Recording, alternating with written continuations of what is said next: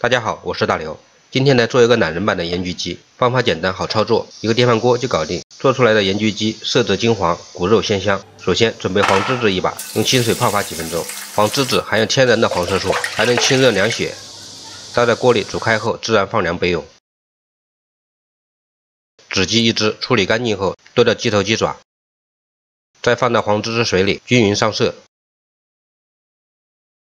也可以用葱结涂抹。然后捞起沥干，盐焗粉一袋，用手揉搓，让鸡肉均匀裹上盐焗粉，尽量多揉一会儿，这样鸡肉才能彻底入味。里面也要抹到，然后封上保鲜膜，腌制一个小时。生姜一块切片，铺在电饭锅里，小葱一把切成段。放在姜片上，将腌制好的鸡放在上面，盖盖，按煮饭键焖一个小时。